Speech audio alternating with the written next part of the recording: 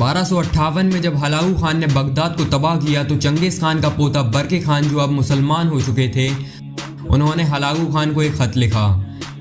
लेकिन हलागू उससे बाज ना आया, और एक के बाद एक मुसलमानों के शहरों को तबाह व बर्बाद करता चला गया।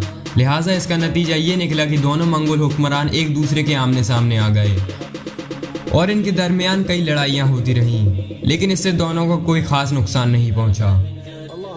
लेकिन जब बारह सौ उनसठ ईस्वी के आसपास मशरकी खुरासान के कोहे कोकास के पास दोनों फौजें जंग के लिए आमादा थीं।